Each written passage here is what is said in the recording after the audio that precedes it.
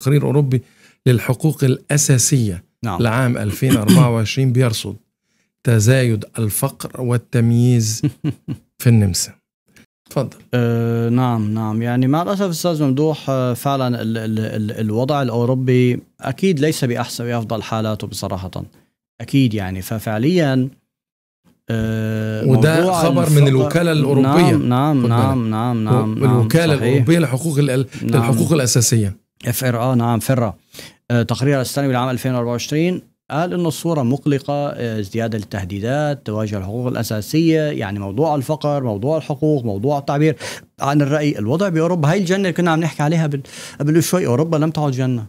أوروبا لم تعد جنة. أوروبا لم تعد بصراحة ال ال ال ال المكان المثالي الذي ممكن الواحد الشخص ان أن يلجأ له وأن يعيش به بصراحة. صحيح في حقوق ولكن ولكن تتراجع. ترى أيوه يوجد ضغوط تتراجع الحريات.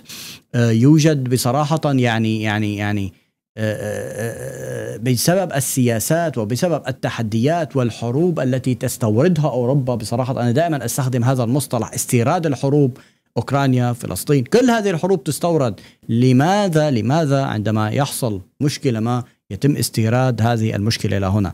يعني يعني على على أساس التأثير بالضبط العالمي هو يعني. هو يصبح تأثير عام ولكن هل يصبح تأثير عام بكل القضايا؟ لا يوجد انتقائية.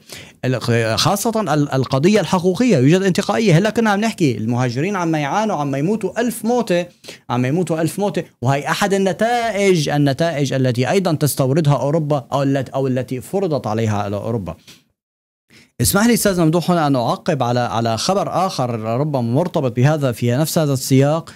تقرير أوروبي ينتقد ممارسات فرض النمسا الحبس الاحتياطي آه، على على على ذوي الخلفية ال- ال- ال- المهاجره أعتقد غير موجود عندك ضمن نعم. هذا. أنا صراحة نسيت أن أرفقه ضمن ال- الأخبار الموجودة عندك. أنا طب- وأنت واحد ولا نعم. التقرير شو بقول أصدر معهد لودفيج بولتسمان للبحوث الاجتماعي. تقريرا ينتقد ممارسات فرض الحبس الاحتياطي في النمسا مشيرا لوجود ثغرات قانونية تفضي إلى تحيز ضد المشتبه بهم من ذوي الجنسية الأجنبية. يعني فوق كل هالمعادلة فوق كل هالمشاكل الموجودة كمان الشرطة واجهزه القضاء النمساوي أيضا تتعامل بازدواجية معايير. إذا أنت مهاجر وأنت على سبيل المثا- المثال متهم بشيء ما أنا بفرض عليك الحبس الاحتياطي. تعرف ماذا اسمه هذا سيدي الكريم في بلادنا؟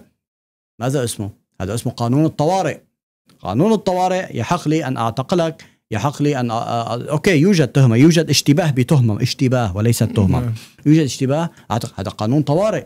بالتالي النمسا تمارس قانون الطوارئ ضد الأجانب ولا تمارسه على المواطن النمساوي. فبالتالي هذا الانتقاد مش شايف إن في اختلاف في الأفعال؟ يعني يعني لما بتشتبه في واحد أجنبي أكيد هناك خلفية عن جريمة معينة. بغض طيب- النظر. طيب. سيد الكريم أنا أنا في بين في بين وبعدين النمساوي في بايدنا دراسة. النمساوي بيقتل وبيقتل نفسه فما فيش جريمة. استند التقرير إلى دراسة بحثية بعنوان مخاطر الهروب. شملت خمس دول في الاتحاد الأوروبي ما في ذلك النمسا. واعتمدت الدراسة على تحليل 100 ملف قضائي من سبع مقاطعات نمساوية بالإضافة إلى إجراء مقابلات مع خبراء في القانون الجنائي وتقييم الدراسة السابقة. شو بدك أكثر من هيك؟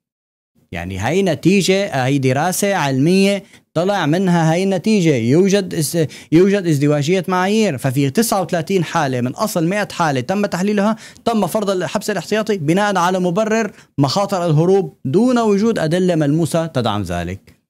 إنه خايفين هذا يهرب أم اعتقلنا؟ مع إنه ما في أدلة تدعم هذا الشيء. أي بس بعد آه، بناء بعد على الشك. ثبات عدم الشبهة أكيد بيترك. بغض النظر يا سيدي الكريم طب ليش النمساوي ما تعاملوا مع هذا الأساس؟ ما بقول لك قتل نفسه يا عم. فالقضية فالقضية مع الأسف سيدي الكريم مع الأسف آه، ال- الوضع في النمسا يأخذ منحى منحى متشدد. وهذه النتيجة هي التي التي يتغذى عليها إن كان اليمين المتطرف أو إن كان المتطرفون الموجودون أصلا في هذه المجتمعات يقومون يتغذوا على هذه الحالات. التمييز عندما يكون عدالة اجتماعية عندما يكون آه، آه، تبادل ل- ل- ل- ل- ل- ل- للفرص والخبرات في كافة أطياف المجتمع يوجد سلم أهلي.